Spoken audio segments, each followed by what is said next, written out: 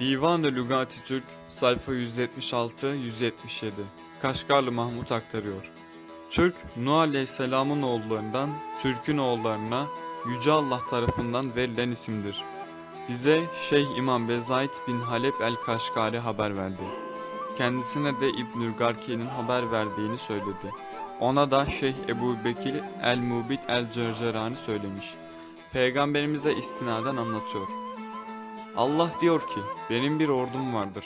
Onları Türk diye adlandırdım ve doğuya yerleştirdim. Bir kavme kızdığım zaman onları, Türkleri musallat ederim. Kaşgarlı Mahmut devam ediyor ve şöyle diyor.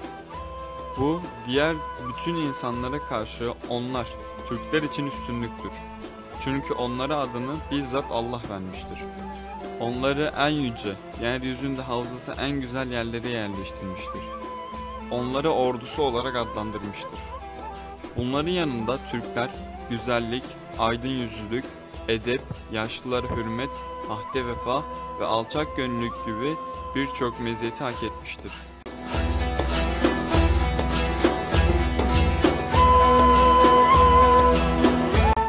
Buhara imamlarından bir imamdan açıkça işittim ki onlar Peygamber Efendimiz'e dayanarak şöyle rivayet ettiler.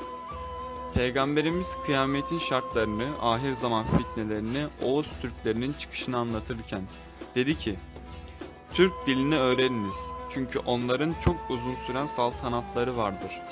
Bu hadis doğru ise Türk dilini öğrenmek vaciptir. Sorumluluğu rivayet edenlere aittir. Eğer doğru değil ise aklın gereği budur.